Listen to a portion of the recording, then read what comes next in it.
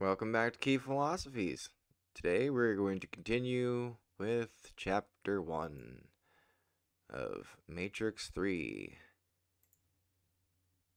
Psychosocial, Chemical, Biological Manipulation of Human Consciousness.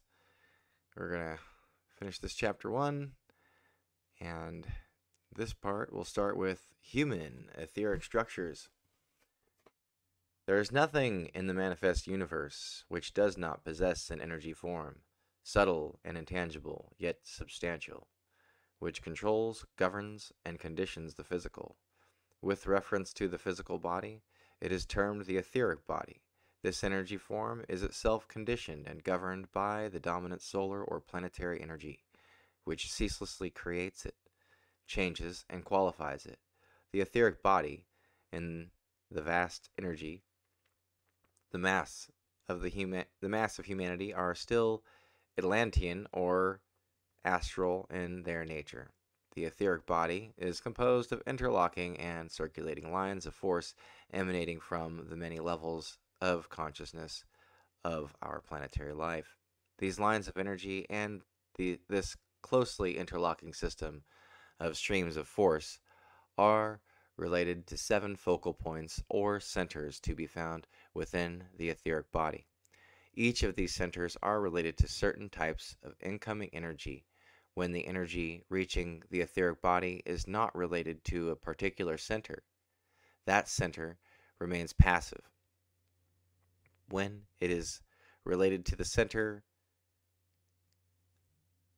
when it is related and the center is sensitive to its impact, then that center becomes vibrant and receptive and develops as a controlling factor in the life of the man on the physical plane. The dense physical body is held together by and is expressive of the energies which compose the etheric body. These energies appear to be of two types the energies which form through interlocking lines, the underlying etheric body, as a whole and in relation to all physical forms, this form is qualified then by the general life and vitality of the plane on which the dweller in the body functions, and therefore where his consciousness is normally focused. Another type of energy is the particular energies which by which the individual consciously chooses to govern his daily activities. As attitude, attainment, and comprehension shift to higher levels, the etheric body will be constantly changing and responding to newer energies. The etheric body interpenetrates, underlies, and occupies the entire physical organism. It extends beyond the physical form and surrounds it like an aura. According to the point in evolution will be the area which the etheric body covers beyond the outside of the physical body. It may extend for a few or many inches.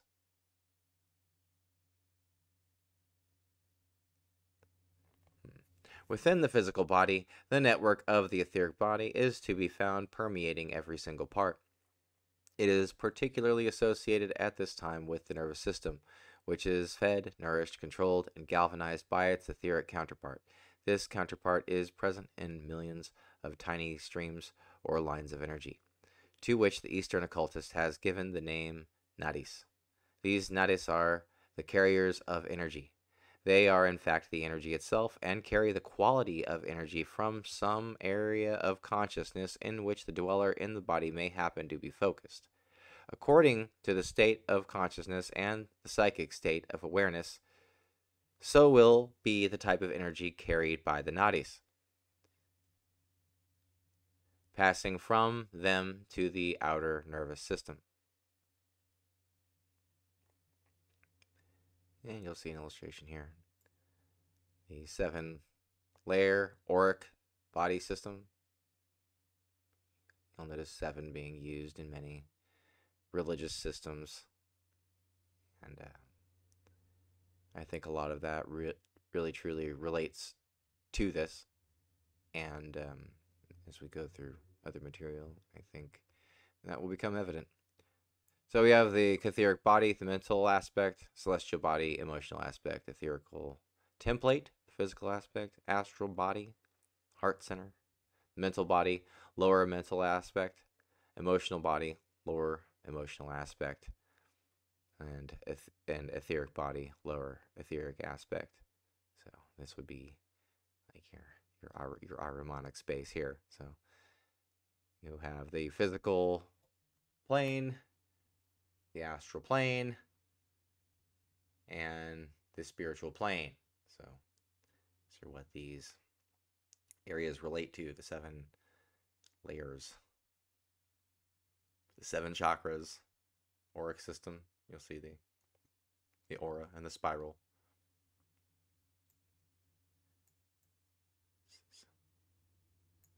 Like Taoist teachings. Mantak Chia. Continuing, it, it must always be remembered that the seven energy centers are not within the dense physical body. They exist only in etheric matter and in the etheric so called aura outside the physical body. They are closely related to the dense physical body by the network of nadis. Five of the centers are to be found in the etheric counterpart of the spinal column. And the energy passes through the spinal vertebrae and circulates then through the etheric body as it is interiorly active within the physical vehicle. Three head centers exist one just above the top of the head, another just in front of the eyes and forehead, and the third at the back of the head, just above where the spinal column ends. In practice, the center at the back of the head is not counted in the initiation process any more than is the spleen, so we have the seven centers to examine. The powerful effect of the inflow of energy via the energy body has itself automatically created these centers or reservoirs of force. The effect of these seven centers upon the physical body in due time produces condensation, or a state of what is called attracted response from dense matter. And thus, the seven major sets of endocrine glands slowly come into functioning activity. The whole development of the etheric body falls into two historical stages. The first stage is that in which the etheric energy flowing through responsive centers and creating endocrine glands as a consequence gradually begin to have a definite effect upon the bloodstream. The energy worked through that medium solely for a very long time. This still remains true for the life aspect of energy animates the blood through the medium of the centers and their agents, the glands. Hence, the words in the Bible that the blood is the life. Secondly, as the race of men developed and consciousness grew greater and certain great expansions took place, the centers began to extend their usefulness and to use the nadis and thus to work upon and through the nervous system. This produced conscious and planned activity upon the physical plane. The energy tubules or nadis pass to certain areas of the body in three ways through the seven major centers, through the 21 minor centers, through 49 focal points scattered all over the body. The physical body, therefore, is triple in design. There is the etheric body, the nada system, and the dense physical body. Telepathic activity. Telepathic activity appears to be present in three modes in developing human beings.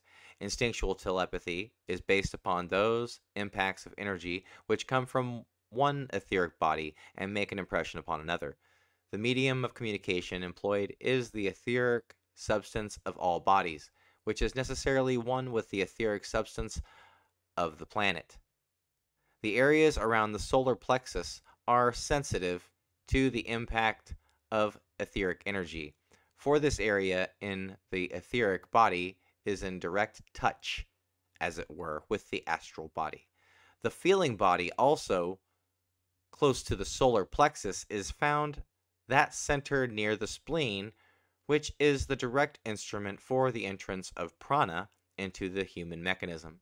Prana might be defined as the life essence. This instinctual response to etheric contact is said to be the mode of communication in Lemurian times. A largely and largely took the place of thought and speech.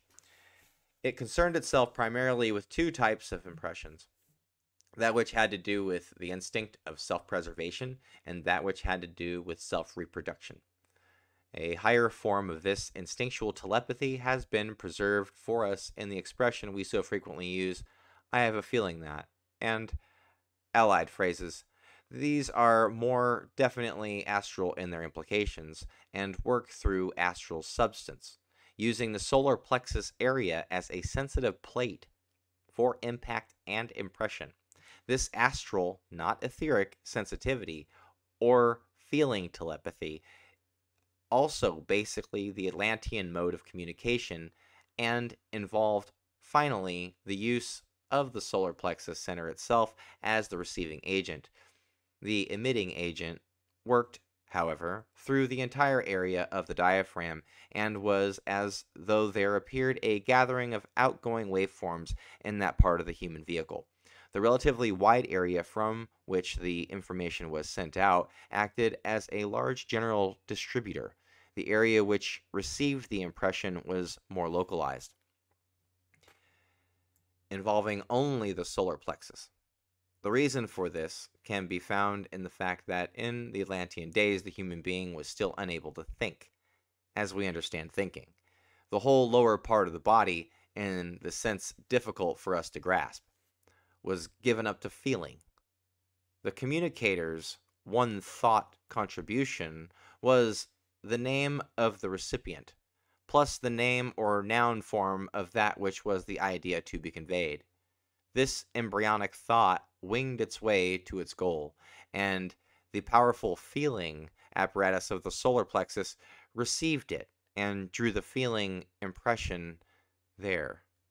Drawing on the communicator, it is this process which is pursued when, for instance, some mother feels that some danger threatens her child or that something is taking place in connection with her child. Instinctual telepathy will often manifest in two ways it will be from the solar plexus to solar plexus between two people who are ordinary, emotional, governed by desire, primary primarily centered in the astral or animal bodies.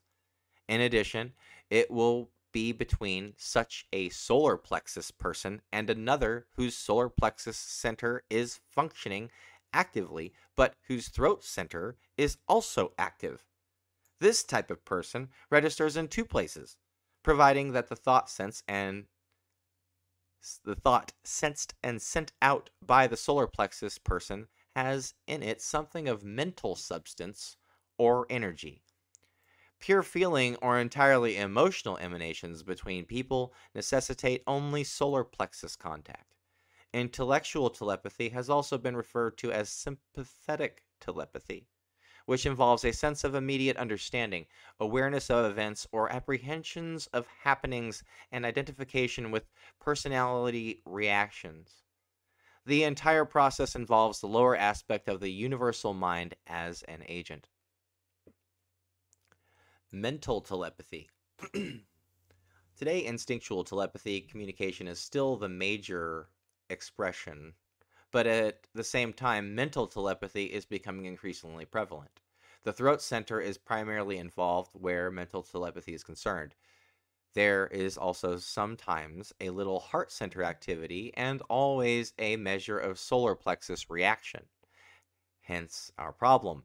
Frequently, the communicator will send a message via the throat center, and the recipient will still use the solar plexus. Mental telepathy is the rapport established between minds. It also includes the telepathic response to current thought forms and thought conditions in the world today.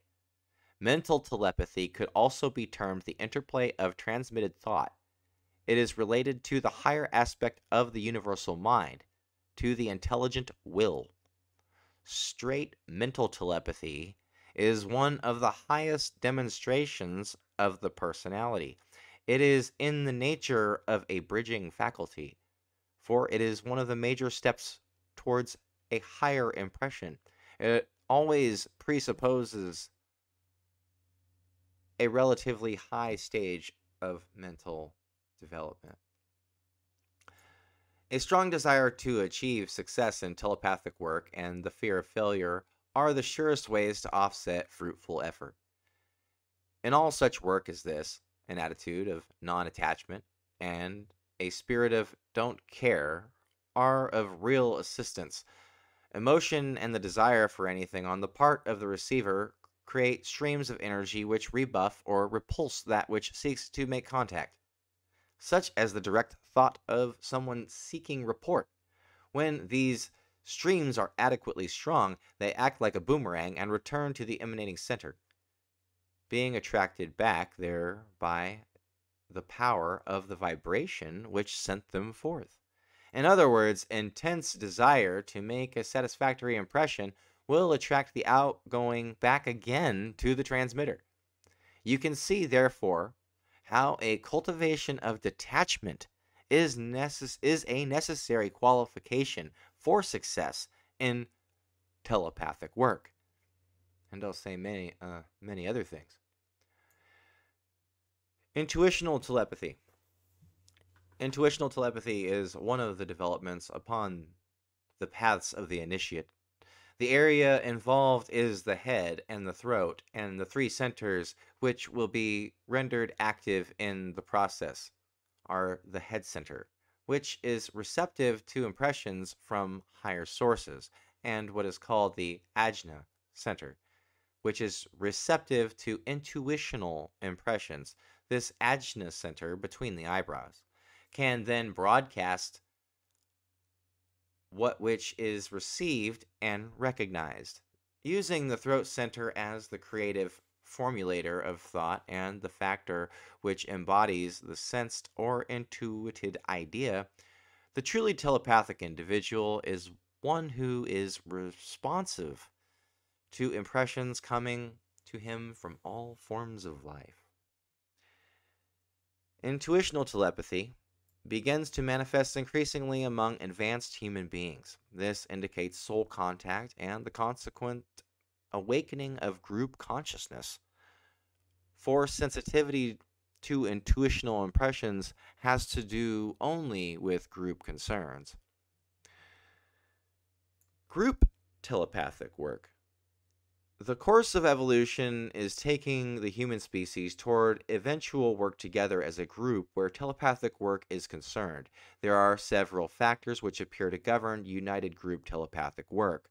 First, it is essential as a member of a group that is evolving in consciousness and working on telepathic levels that you acquire faculty in tuning in on each other with deepest love and understanding.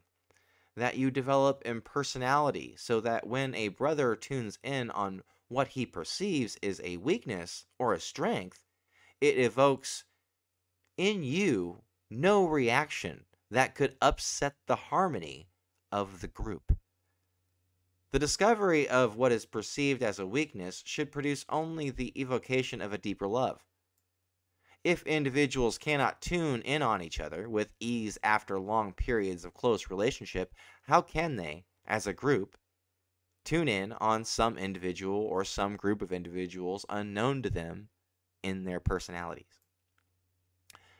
Secondly, constant effort must be carried forth to bring about a group love of such strength that nothing can break it and no barriers rise up between you to cultivate a group sensitivity of such a quality that your diagnosis of conditions will be relatively accurate, to develop and unfold a group ability to work as a unit, so that there will be nothing in the inner attitudes of group member which could break into their carefully established rhythm. Thirdly, any group working along telepathic lines must be carefully controlled. Any group effort which seeks to impress the mind of any subject, whether an individual or a group, must be guarded as to motive and method. Any group endeavor which involves a united applied effort to effect changes in the point of view, an outlook on life, or a technique of living must be utterly selfless. Most wisely and cautiously undertaken, and must be kept free from any personality emphasis, any personality pressure, and any mental pressure, which is formulated in terms of mental belief, prejudice, dogmatism, or ideas. The result of all true telepathic work and rightly directed effort to impress a subject will be to leave him with a strengthened will to right action, an intensified interior light as astral body freer from the idea of glamour, and a physical body more vital and purer. The potency of a united group activity is powerful. The occult aphorism that energy follows thought is either a statement of truth or else a meaningless phrase. The induction of telepathic states by ingestion of substances. Several years ago, it was rumored that some companies in Canada had produced a substance which, if ingested, gave individuals telepathic abilities. This was reported in 1990 in The Leading Edge in some detail. Obviously, the Canadian government stopped the company from continuing business. There are, however, natural substances that are reported to enhance telepathic ability, and one of those substances comes from the woody vine known as ayahuasca, which is found in Brazil. The vine contains a number of alkaloids and psychoactive properties one of which has been called telepathine, because it seems to turn those around you into glass, so that you can see through their bodies and read their minds. Lyall Watson, author of Beyond Supernatural, tried it and vouches for this apparent effect. And most interesting thing about ayahuasca is that it appears to have chameleon qualities. It is a door which opens a variety of landscapes, connecting an individual to information sources in the animal kingdom. Telepathic sensitivity. Telepathic sensitivity should be and always is a normal unfoldment when the individual is correctly oriented and completely dedicated. If it is a forced process, then development does not occur correctly. Where the individual on a path of conscious initiation is concerned, release from the constant consideration of personal circumstances and problems leads inevitably to a clear mental release. This then provides areas of free mental perception which make the higher sensitivity possible. Sensitivity to impression involves the engineering of a magnetic aura upon which the highest impressions can play and come into the mind. This magnetic aura, as it were, begins to form the first moment a contact with the soul is made. It deepens and grows as those contacts increase in frequency and become eventually a habitual state of consciousness. Areas of sensitivity appear to pass through three stages. First, sensitivity to impression from other human beings. Secondly, sensitivity to group impressions. The passage of ideas from group to group. The individual can become a receptive agent within any group of which he is a part.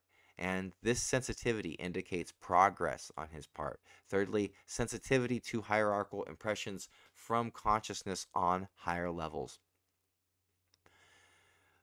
The mental aura develops rapidly once an individual takes his own development consciously in hand or once the polarization of the personality is upon the mental plane.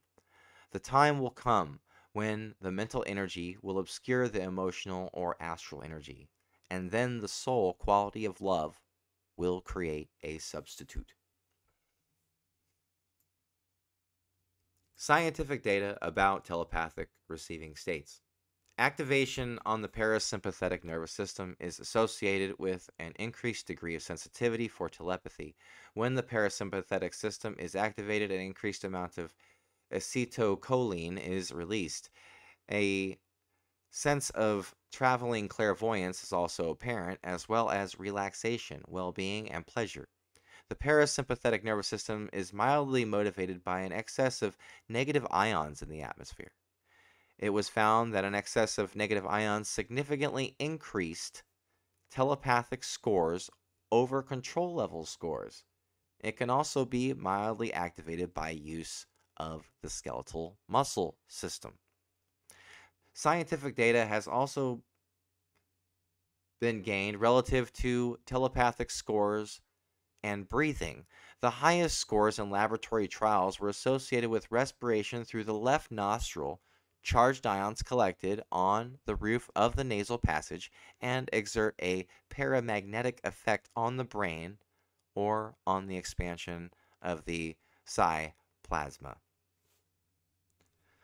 Telepathic reception. The first stage of correct telepathic reception is the registering of an impression. It is generally vague in the beginning, but as a thought, idea, purpose, or intention becomes more concrete, it slips into the second stage, which appears as a definite thought form. Finally, that thought form makes its impact on the consciousness of the brain in the location lying just beyond the area between the eyes, consequently, in the area of the pituitary body. It can appear also in the region of the solar plexus center. For those who are conditioned by the elements of the personality, the impression is the factor of importance. Their consciousness is impressed and so sensitive is their response to the higher impressions that they absorb the impression so that it becomes part of their own energy. Telepathic sending states are characterized by sympathetic nervous system activity. The sympathetic nervous system is activated by adrenaline like compounds and is antagonistic to the parasympathetic nervous system. The sympathetic nervous system is associated with the fight or flight action or emotional conditions that embody a threat. The telepathic sending states, which are characterized by the use of the sympathetic nervous system, are sometimes referred to as crisis telepathy, which involves a sending individual who is under stress, prompted by need, and carrying a message of biological significance. The literature and folklore of most people include such events. Reports of crisis telepathy are common enough in our own culture. Many people claim to have direct knowledge of sinking of the Titanic. Most of the best evidence comes from less technical, less skeptical cultures, and much of the evidence suggests that crisis calls are not so much broadcast as finely focused. One interested example concerned a Cajun from New Orleans, a tough 32 year old Creole who joined the crew of a fishing boat working deep waters at the northwest end of the Hawaiian Islands. On the evening in question, they had been troweling, and in a quiet moment, the man decided to go to the crew quarters. As he grabbed the hatch rail, he slipped and fell flat on his back on the deck below. Nobody saw the accident, and the man lay there paralyzed and in pain. He was convinced that he was about to die, and wondered what would come of his young American friend Millie.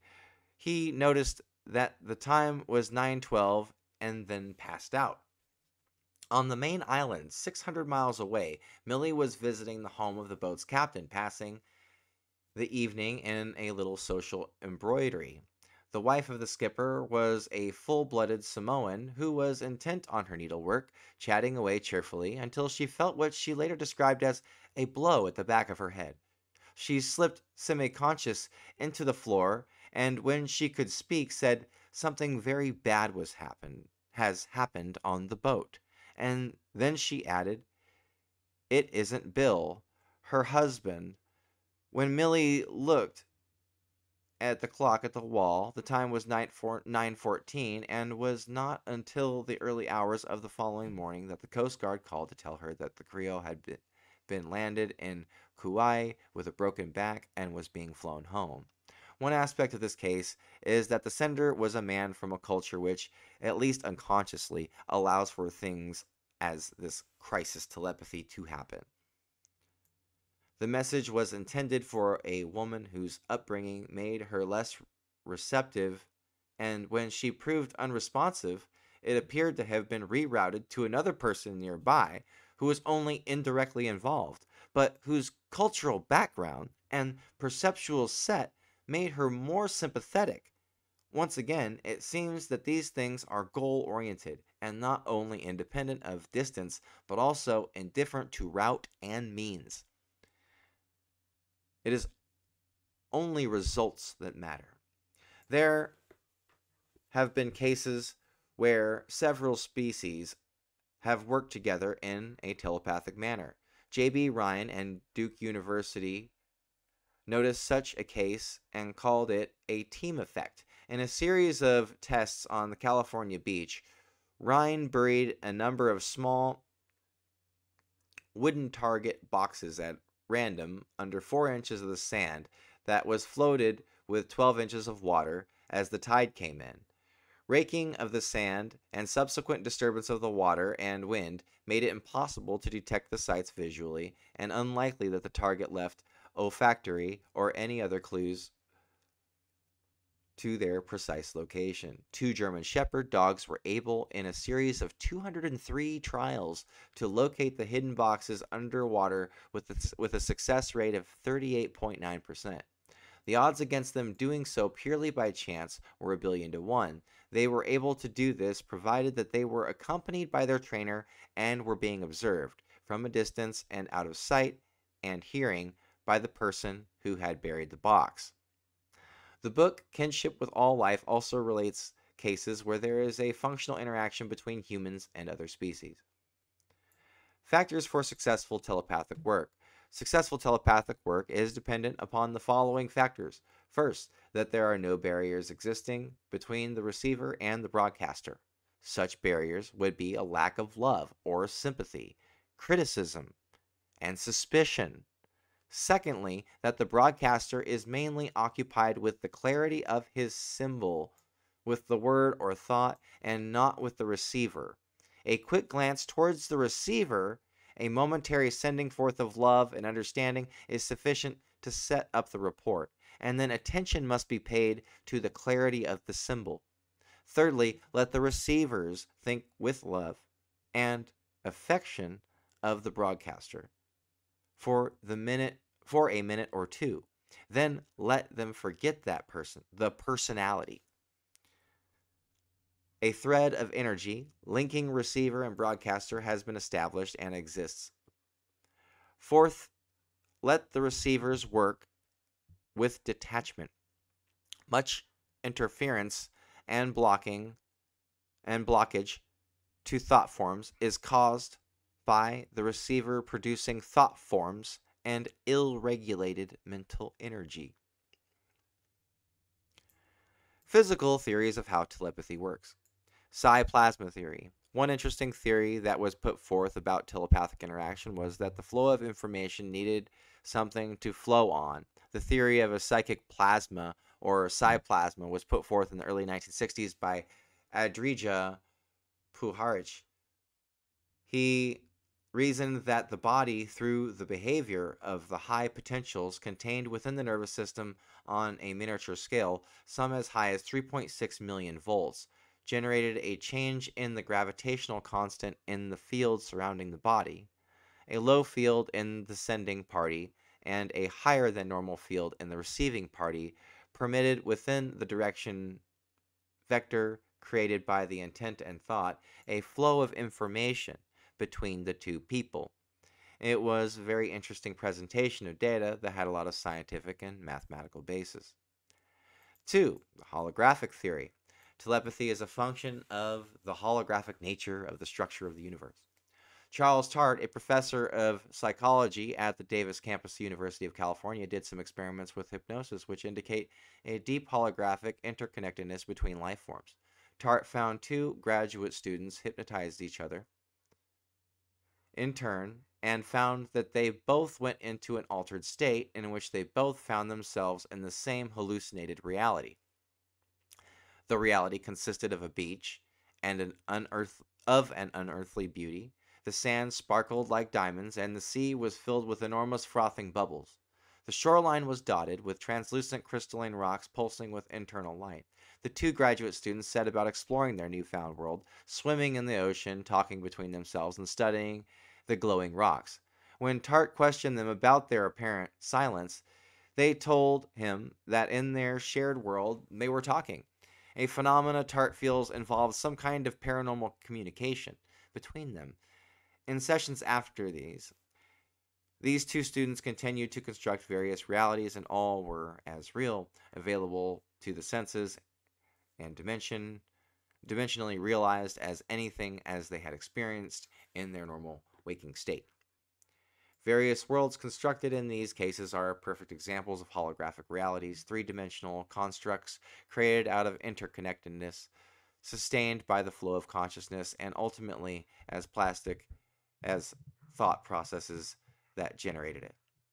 The realities were three dimensional, but the space was reportedly more flexible than the space of what people ordinarily experience, and sometimes took on an elasticity the two students had no words to describe. Human consciousness may not be the only thing that participates in the creation of reality fields. Remote viewing experiments have shown that people can accurately describe distant locations even when there are no human observers present at the location. Similarly, subjects can identify the contents of a sealed box randomly selected from a group of sealed boxes and whose contents are therefore completely unknown. This means that we can tap into reality itself to gain information. Consciousness pervades all matter, and meaning has an active presence in both mental and physical worlds. Remote viewing can be looked at as resonance of meaning conveyed from object to mind. In this view, consciousness comprises and includes anything that can generate, receive, or use information. Thus, animals, viruses, DNA, machines, and so-called non-living objects may all may have all the prerequisite properties to take part in the creation of reality. What must be grasped is that all that is is ever present. What we are concerned with is the constant awakening to that which eternally is, and to what is ever present in the environment. The aim must be to overcome the undue concentration upon the effort ground of daily life which characterizes most people. The intense preoccupation with interior states or moods, and the lack of sensitivity which characterizes the mass of humanity. Many great teachers have spoken on spoken of a time when nothing secret would remain hidden, and when all secrets would be shouted aloud from the rooftops. The growth of telepathic and psychic abilities will eventually tend to strip humanity of the ability to transgress each other without being known for their transgressions. As the race achieves increasingly a mental polarization through a developing attractive power of the mental principle, the use of language from for the conveying of thoughts and communication will fall into disuse. According to some sources, it will take about 500 more years for the race to become consciously telepathic. Telepathy, then, could be viewed as the seed of future racial potency and ability. It is a process which proceeds through a medium of telepathic groups and telepathic people, and through the medium of scientific investigation. This also involves the building of the thought form which will accustom the race to the idea of telepathic work.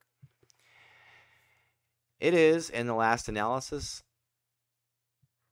the seed of masterhood. Well, I think that concludes chapter one. Later, we will get into chapter two natural fields and physics. That will be fun. Well, if you have any uh, comments, stories, ideas, I'd love to hear them in regards to the what we just talked about. Thank you for joining me. Have a great night.